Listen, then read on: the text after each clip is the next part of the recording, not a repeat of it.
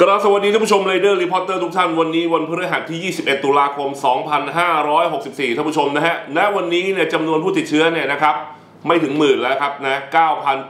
9,727 คน และเป็นผู้ติดเชื้ออยู่ในเรือนจำเนี่ยท่านผู้ชม 71 คน เขาบอกว่าการยืนยันผลตรวจผู้ป่วยรายใหม่เนี่ยนะครับแบบ RT-PCR เนี่ยตัวเลขอยู่ประมาณสัก 9,701 คน ร้อยละของการตรวจพบเชื้อก็คือ 14.68%ท่านผู้ชมนะฮะ คิดคร่าวๆก็ทุกการตรวจ 10,000 คนเนี่ยเราจะเจอผู้ป่วยประมาณสัก 1,400 คน อันนี้เป็นตัวเลขเฉลี่ยนะครับ ส่วนผู้เข้าข่ายการติดเชื้อโดยการตรวจแบบ ATK Antigen Test Kit 2,161 คน เอามาขยำรวมกับ RT-PCR เนี่ย ก็จะได้ตัวเลขประมาณสัก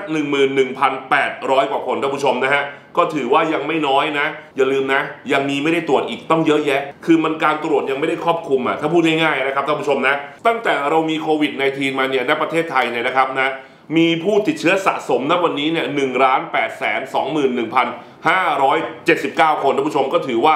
ตัวเลขก็ค่อนข้างโอ้โหนะ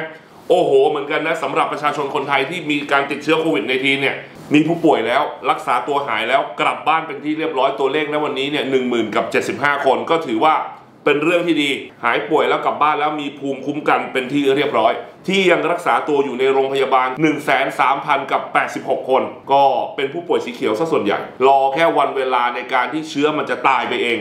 ส่วนผู้ป่วยอาการหนักสิอันนี้น่าห่วง สีแดงท่านผู้ชม 2,687 คน และหนักกว่าสีแดงเนี่ยนะครับนะที่ต้องใส่ท่อช่วยหายใจในขณะนี้เนี่ย 603 คนเนี่ย อันนี้ถือว่าน่าห่วง ก็ผมขอส่งแรงใจเป็นกำลังใจให้สำหรับผู้ป่วยสีเขียว สีเหลือง สีแดง หรือจะแดงปีอะไรก็แล้วแต่ ก็ขอให้คุณต่อสู้ ขอให้เข้มแข็ง แล้วก็ขอให้ร่างกายเนี่ยแข็งแรงฟื้นกลับมาโดยไวที่สุดแล้วกันนะฮะ เพื่อที่จะได้ใช้ชีวิตกับครอบครัวต่อไปท่านผู้ชมนะฮะ ส่วนจำนวนผู้เสียชีวิตณวันนี้เนี่ย 73 ท่าน และก็เสียชีวิตสะสมมาตั้งแต่โควิดในทีเลยเนี่ย 18,559 คน ผมก็ต้องขอแสดงความเสียใจแบบสุดซึ้ง เสียใจแบบมาก ๆ เลยกับการสูญเสียและการจากไปของบุคคลอันเป็นที่รักนะครับ มาอัปเดตนิดนึงท่านผู้ชมนะเรื่องของการฉีดวัคซีนแล้ววันนี้เนี่ยเข็มที่ 1 ฉีดไปแล้วประมาณสัก 38 ล้าน ส่วนเข็มที่2เนี่ยประมาณสัก 27 ล้าน รองพินิจพิจารณากันดูว่า มันควรหรือยังที่จะเปิดประเทศ หรือยังไม่ควรหรือควรแล้วนะก็ลองคอมเมนต์กันมาดูครับนะฮะก็ดูแลตัวเองนะครับสวมแมสสองชั้นล้างมือบ่อยๆเว้นระยะห่างครับขอบคุณครับ